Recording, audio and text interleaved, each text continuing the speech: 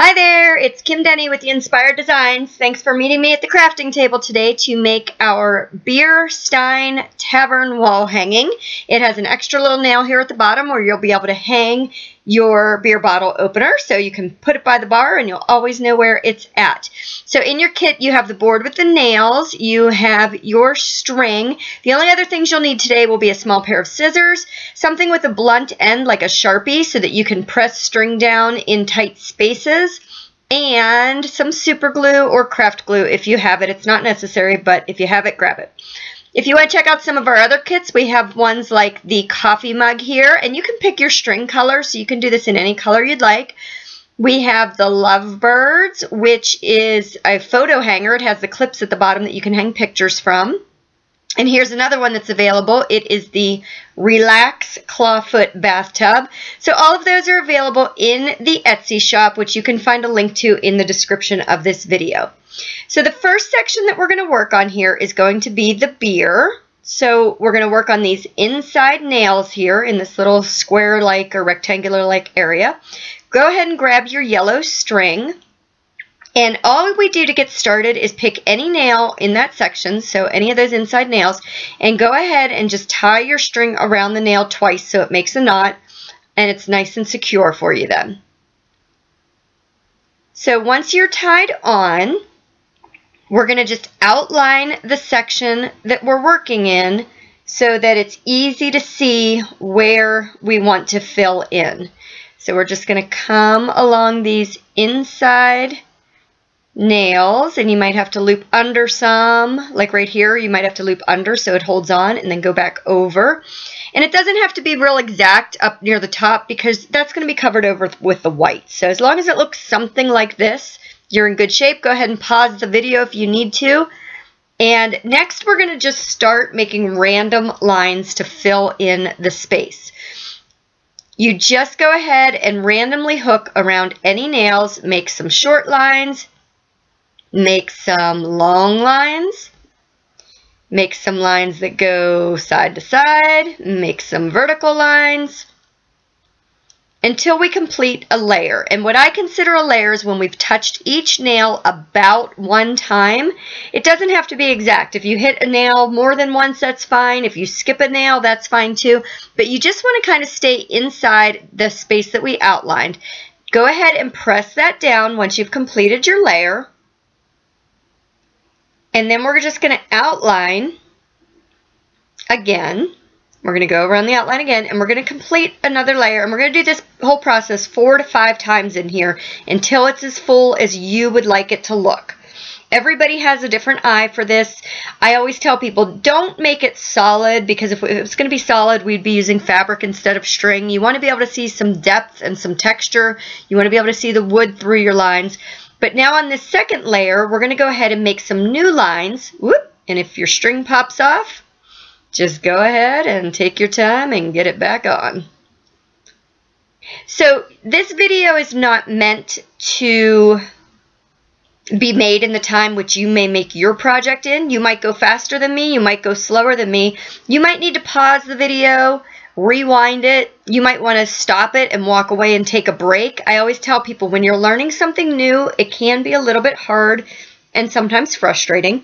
And you certainly don't have to worry about hitting the exact same nails that I'm doing. This is all very random. You just want to kind of let go and just go for it. Kids always do really well with string art because they just think that was the end of two. Now we're going to go on to layer three, so we're going to outline and then do that again.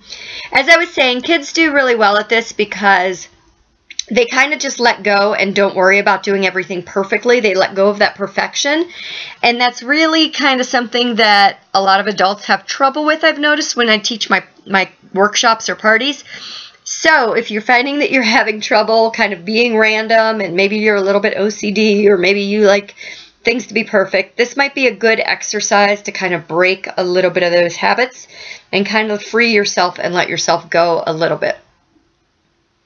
So we're on layer three here. We're just doing random. As I said, I've been stringing for a long time, so I kind of move fast. If you don't move this fast, just pause the video, finish your layer, and then start it back up, and we'll, we'll keep working together. We don't have to work at the same speed. So I'm going to just go ahead and out or press down a little bit. and then outline again. And some people get frustrated as they're learning this because learning something new can be tricky. So if you find that you get frustrated, pause the video, walk away, take a break, stretch your hands, have some coffee or tea. Oh, so right here, I kind of went outside of my outline. So you could leave it there because it would be covered up by the white. Or if you notice that you've done something like that, you can just try and pop it back off. And that way it'll be inside your outline. Think of it like scribbling inside the lines with a crayon. And that goes back to the randomness of it all.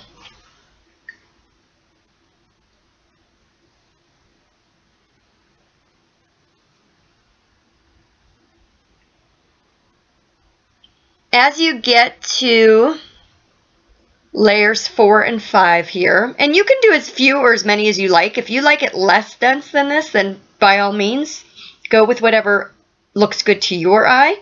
But as you get between layers four and five here, that was four, we're going to move to five in a second, but hold it back or prop it up and step back so you can kind of get a little perspective and see, is it even?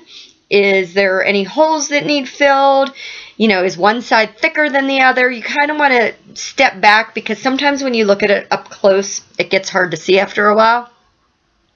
I also always tell people at my parties that sometimes after you stare at this by the end of making your project, you're going to be like, this looks awful. I hate it. Uh, here we go into layer five. But then if you walk away or you come back tomorrow and you look at it again, you're going to be like, oh, that actually looks pretty good.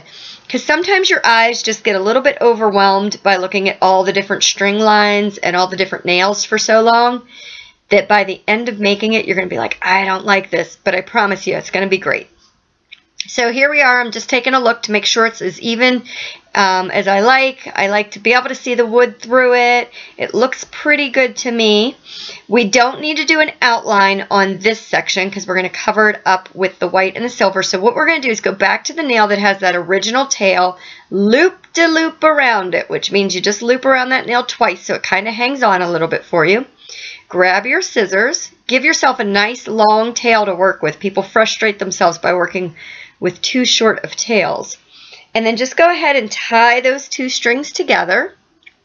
And, whoop, mine popped off the nail, so let's try that again. We're going to go back to that original nail, loop the loop around it so it holds on. Hold it taut so it doesn't let go. And then just go ahead and tie those two strings together. This is the easiest way to make a knot to finish off a string. And then tie it again. And here we have the beer.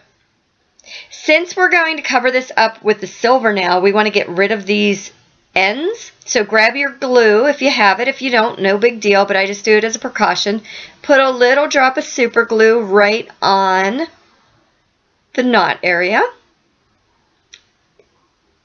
And grab your scissors and just trim it as close as you can without cutting any important strings. There we go.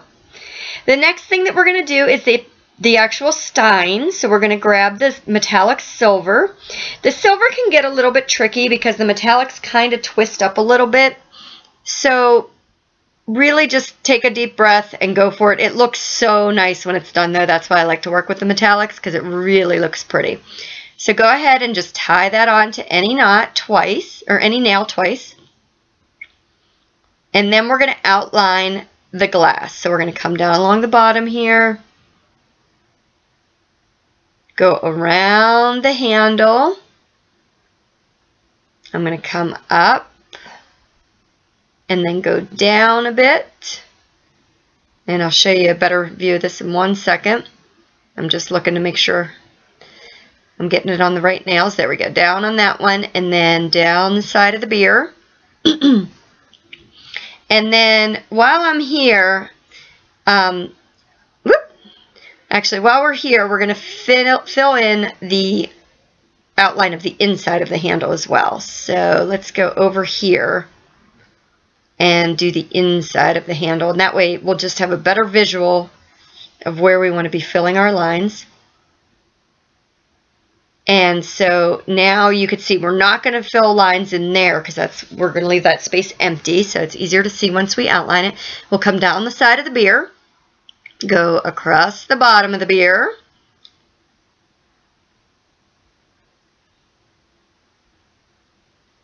up the left side of the beer,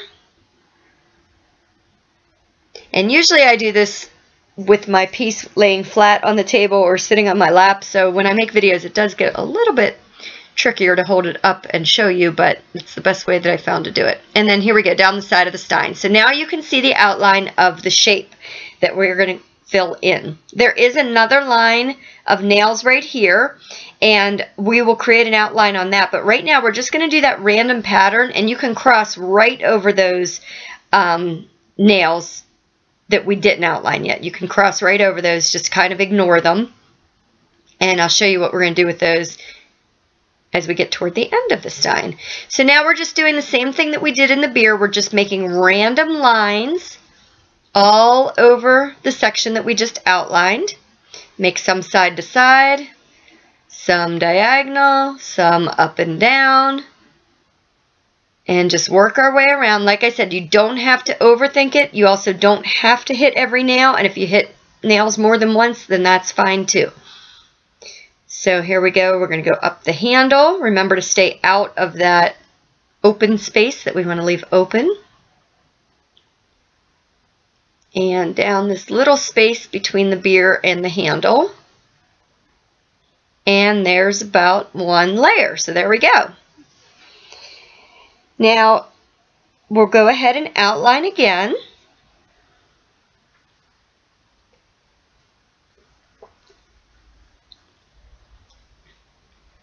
And outline the inside of the handle there.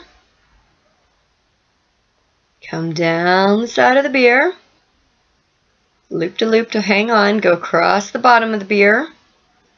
And you'll find as you're doing this, you'll start to recognize that if you're going on the outside of a curve, it'll just kind of hug onto the nails. We're going to start layer two here. If you're going on the inside of a curve, you're going to have to go on the opposite side of the nails. And you'll understand as you do it because there's only one way that it's going to hang on to the nails. Okay, so here we are just doing our randomness for layer two. If you're enjoying these projects, make sure that you follow along on social media, both on Facebook and Instagram. You can find me by searching the word Yinzpired. It's Y-I-N-Z-P-I-R-E-D. You also find that in the link to the video here. You can find me on Pinterest. Of course, make sure you like the YouTube channel here so you can see whatever new videos are posted. And if you hop onto Etsy, and search for Yinzpired and favorite the shop, then you'll get notices when I post new things in the shop as well. All right, so that's the end of layer two. We're going to go ahead and outline again. In addition to string art, I also post um, some of my daughter's handmade pottery, t-shirts that my son silk screens. So we are just a family of makers and we love sharing all of our goods with you. So I super appreciate you, you hanging out with us. All right, so this is the outline here. We're going across the bottom of the beer, up the side, and down the left side. All right.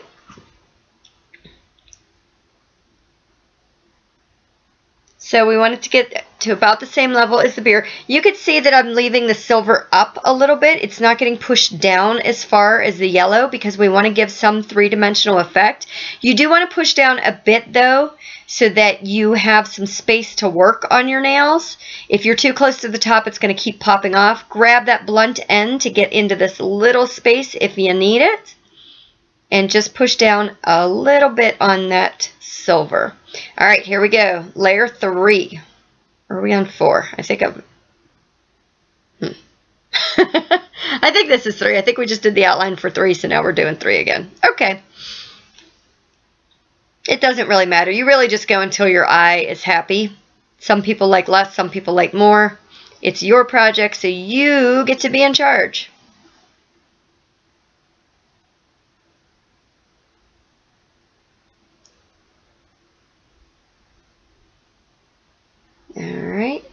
And we'll get in this little space. Don't forget to put some silver in there. Come back down, work along the bottom.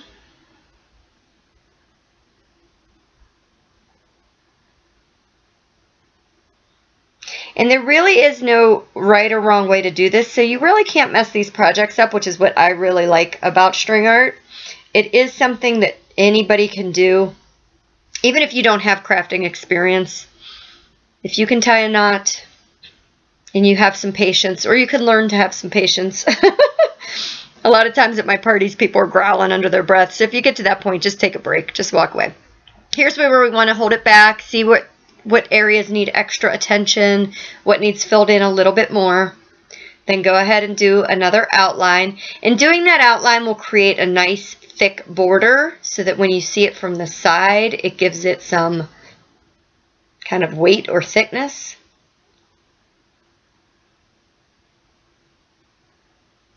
Come across the bottom of the beer again.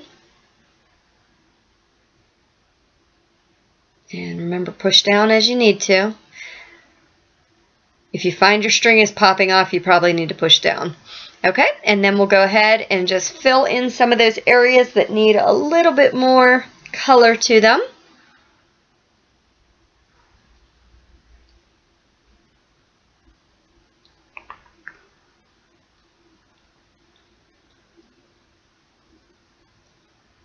Learning something new can be a little bit hard sometimes, but once you get the hang of this, they're really nice because you can kind of just zen out and relax, let your mind do something different and new. That's always good for you. And there's nothing better than making something yourself, right?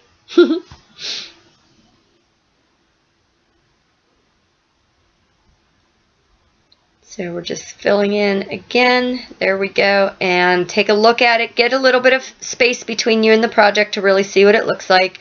And if you're happy with it, then we're going to go ahead and tie off. So, oh, here, I forgot. I'm sorry, we're not going to tie off yet. We're going to do this border.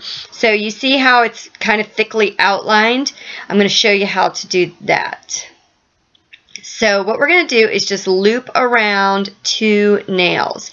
So we go on and then loop around the next two. So you're going down along the bottom of two nails and then come back up over the top of those two nails and then down on the bottom and up around the top. So you're creating a circle or an oval around every two nails. It'll help kind of close some of those gaps that you see where you couldn't get your string to reach. And it also creates that nice outlined effect.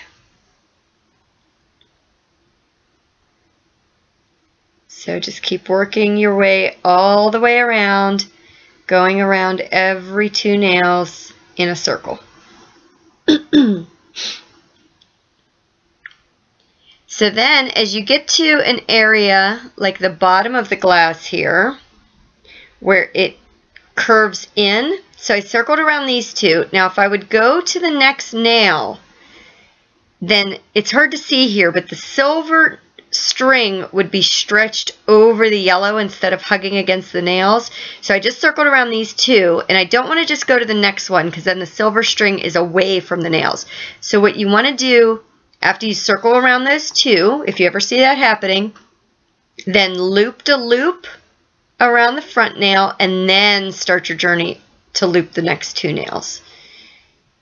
And as you're doing it, it will make more sense. It's really hard to see um, but you'll know when it happens. So if your if your string is not hugging around the nails after you circle around two when you're going to the next one, loop to loop around the front nail first and then go to the next two. Okay, so over here, we just did it along the bottom of the beer. Now we're going to go up the side of the beer. So this is kind of on the inside track of nails where we hit the yellow. And then we're going to start here. I'm going to come down at this point and start doing the two loops around the inside of the handle. So you can see now I'm on that second track of nails. And going to make my way around here. Here we have to do again loop to loop around that front nail and then loop around the next two, loop to loop again, and then loop around the next two.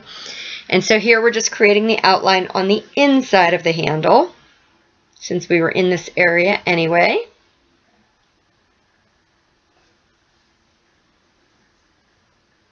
And then we'll go back up and continue our journey along the outside of the handle. So we're still doing the same technique, just looping around every two nails. And I know it's a little bit hard to see. So take your time, pause the video, don't get too frustrated.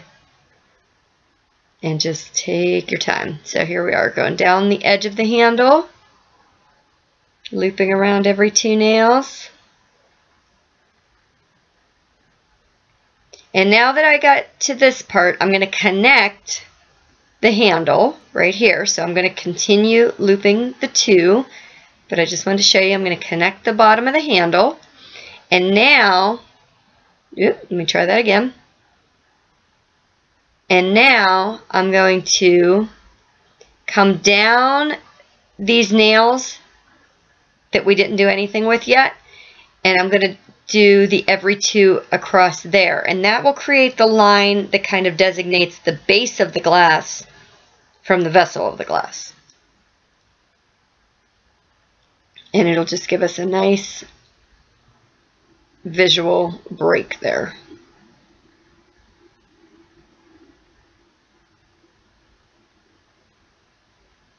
So now I'm going to go back across these again. So they'll actually be double outlined, so it'll make it a little bit thicker so our eye can see it a little bit better. And it just creates that, like I said, visual break.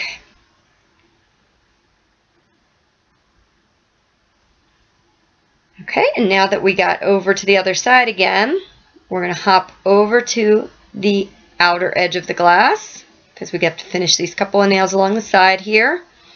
And voila, we have our outline. Now you can leave it as is, just doing it around one time.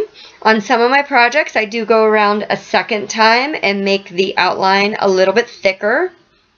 So just take a look at it, decide if you want to stop or if you want to go for that second time around. And I think today I'm just going to stop with one. Since my starting string was way over on the other side, I'm going to show you how to tie off over here. You could take your string all the way back over there, loop to loop around that nail, and then tie off with that one like we did with the yellow. But I'll show you another technique here too. So we're going to leave a nice long tail. Do not cut your tail short or you're never going to be able to tie your knots. And then take the end of your string up over the top of that nail head and you have a loop in your other hand and so then you're going to pull that end through the loop while you hold it onto the nail. And it just goes around that nail head. So once again, you took your string up over the nail head and then you pull it through that loop. And here, if you can see, oh, wait, it popped off the nail. I got to put it back on. And pull it so it pulls tight and it's going right around the nail. And that ties a knot. So that's good. We'll deal with those ends in a few minutes. We're going to hop up and grab our white string. We're going to start on the foam of the beer. Super easy because now you already know the technique. So just tie on to any nail. We're going to outline this section and you kind of just zigzag in and out of these nails. They're kind of in a zigzag pattern. You don't have to worry about being super exact because the thick fuzzy white yarn that we use to outline the foam will cover up any mistakes or errors or whatever you want to call them that you make. Um, so you can be kind of not too precise here, but you're basically just kind of zigzagging in and out of these nails to create the outline of the shape so you know what you're filling in. And then come down along the handle there, the top of the handle, and then you'll come around to these nails where you were creating the beer. And like I said, you don't have to worry about being too, too precise here because that white fuzzy yarn is going to cover up any mistakes. You'll come up over here, and so this is what your outline should just about look like. We're going to use the same technique here that we did before. We're going to start our random lines, four to five layers or whatever looks good to your eye. You won't be able to push these down quite as much because you've got layers built below them already with the yellow and then the silver. And plus we want to give it a little bit three-dimensional look, so we're going to leave the foam closer to the top of the nail heads and you'll just push down enough so that you have room to work.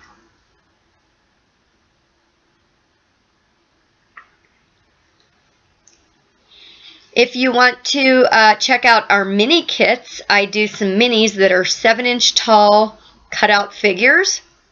For instance, I have um, some dinosaurs, an elephant, a mermaid or whale's tail, all kind of fun things. They're 7 inches tall. They are smaller projects, so if you have any teens or tweens that might want to learn string art, those are great little kits for them.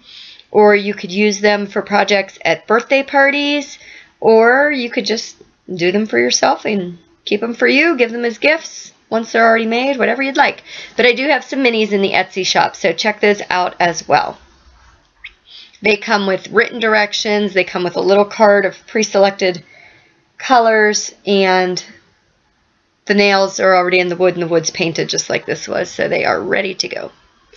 All right, so once you have your first layer done, go ahead, do your outline again. Like I said, you don't have to worry about being super precise here because a lot of this edging will get covered up by your fluffy yarn, which I just love.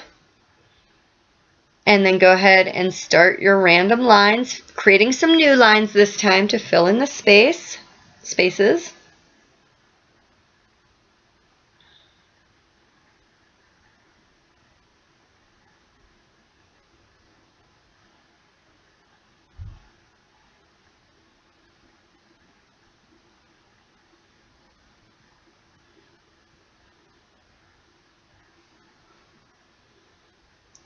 And it's hard to tell the difference on the video between the white and silver, but in person there is quite a difference and they look really nice next to each other.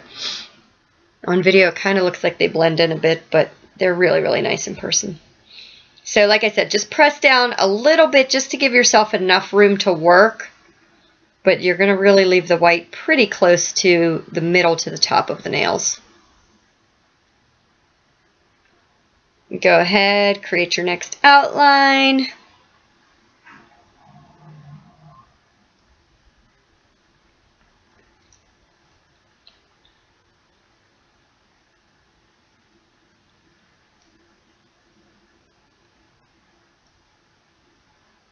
Start your random lines again, filling in any spaces that need attention.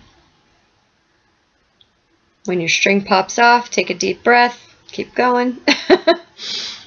it happens to all of us.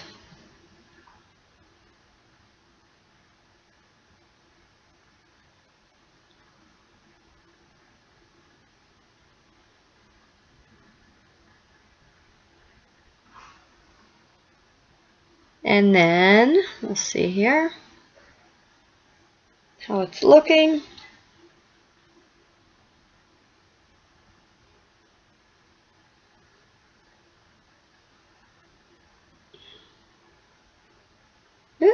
It keeps popping on me. I gotta press down a little bit. Get that in there. There we go. Yep, press down. It does get really uh, filled up, so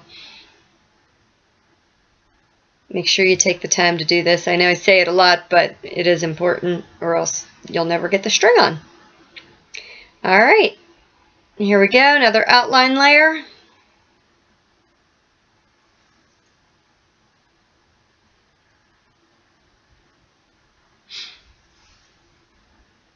And take a step back, get a little bit of space between you and the project so you can see better with your eye what needs attention. Go ahead and do those last few areas.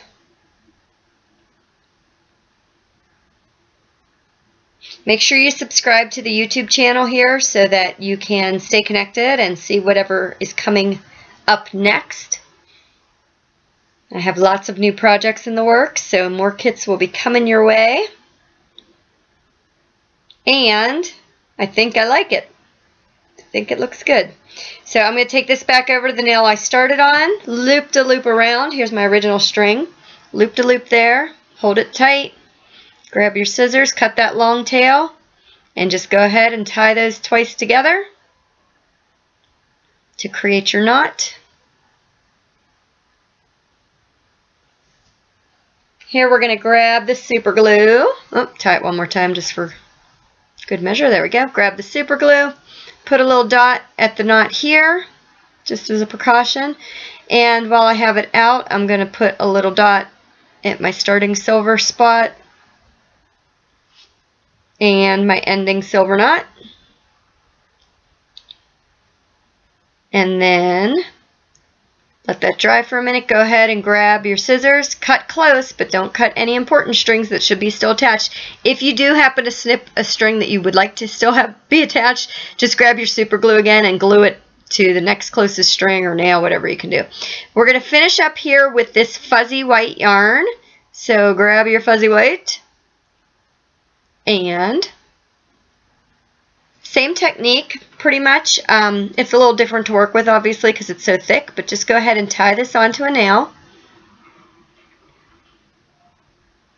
I'd love to see your completed projects too, so if you want to share pictures, feel free to hop onto Facebook, uh, look for Yinzpired, and share it on the page there. I do some giveaways and fun stuff and just share some different art projects with you on there as well.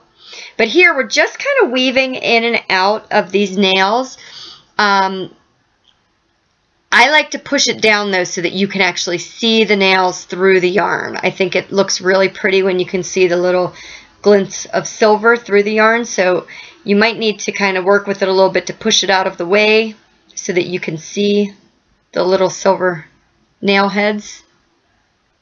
And then just keep working your way in and out as you go around.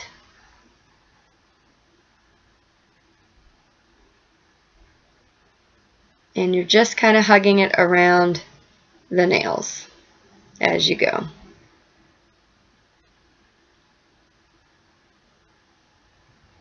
And let's see, so now we're down here.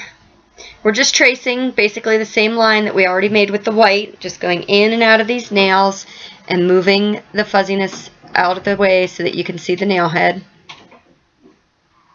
And then here we are back to where we started. And I'm going to just use up the rest of this yarn that was on the little bobbin just instead of wasting it. So it'll be a little bit thicker. I don't know if it'll make it all the way around or not. So I'm just going to start weaving in and out of them again. You could tie off right where you landed if you want to. You don't have to continue the journey, but I'm just going to use it up. So I'm just going to keep working my way around. It does get a little bit thicker by doing this, so make sure you move it out of the way so you can see those shiny nail heads come through. And weaving in and out. Sorry my hands are out of shot here, but it's the same thing I've been doing, so I think you've got it by now.